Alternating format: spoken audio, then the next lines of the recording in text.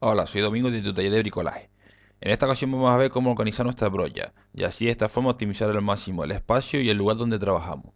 Por tanto se me ha ocurrido fabricar con un trozo de madera de pale y unas alcayatas un organizador de brolla, ya que estas traen unos agujeros en un extremo de las mismas para poder colgarlas. Vale, va a ser un organizador fácil de hacer, rápido y además y es bastante posible que no nos gastemos eh, ni un céntimo de euro en fabricarla.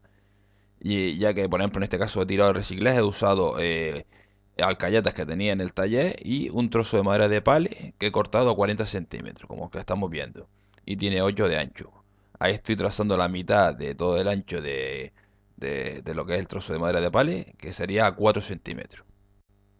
Vale, una vez que tenemos marcado la mitad del de, organizador, que es a 4 centímetros, marcamos eh, a 2 centímetros de los laterales para hacer dos agujeros avellaнаdos y de esta forma colocar este organizador, sujetarlo a la pared con tacos y tornillos y que el agujero hacia avellanado nos deje el tornillo embutido en, dentro de la madera. Eh, y luego vamos marcando 6 centímetros a partir de los 2 centímetros, 6 centímetros en 6 centímetros para colocar cada una de las callatas y que haga separación entre una brocha y otra y no se, no se estorbe, no se, no se nos monte una sobre otra.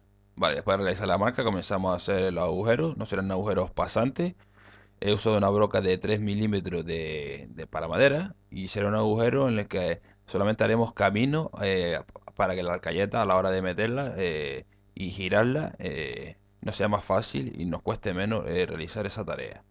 Y ahora con una broca avellanadora si haremos un agujero pasante y, y avellanado para sujetar este organizador a la pared mediante tacos y tornillos. si no tiene broca avellanadora no pasa nada, te voy a dejar un enlace en la parte superior izquierda pues si ya queréis echar un vistazo un vídeo que hace tiempo publiqué de cómo hacer agujeros avellanados sin tener broca avellanadora.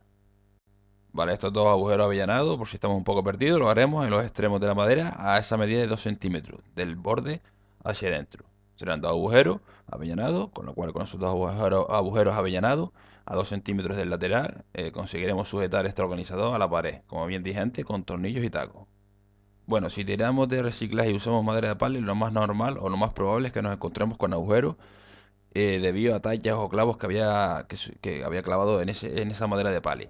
Por tanto, he decidido taparlos con, como hacía el agua para madera, como estamos viendo. De todas formas, te dejo un enlace en la parte superior izquierda por si quieres echar un vistazo a un vídeo que publiqué hace tiempo de cómo tapar agujeros en la madera. Bueno, y el siguiente paso ya es comenzar a colocar las alcayatas en los agujeros que hemos, que hemos abierto de 6 en 6 centímetros eh, separado entre uno y otro. Podemos, como estamos viendo, como ya hemos abierto el agujero y no pasante, como he señalado, señalado ahí, eh, la alcayata evidentemente no puede atravesar la madera porque si no nos tropezaría la madera y nos empujaría hacia adelante el organizador. Eh, sería insertar en el agujero que hemos hecho previamente eh, la alcayata y, hacerlo girar hacia rosca.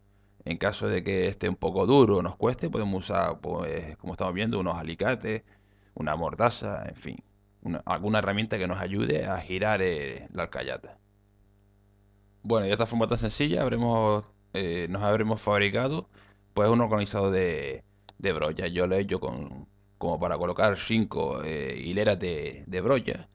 Pero tú puedes ajustarlo a tus necesidades de gusto, en fin.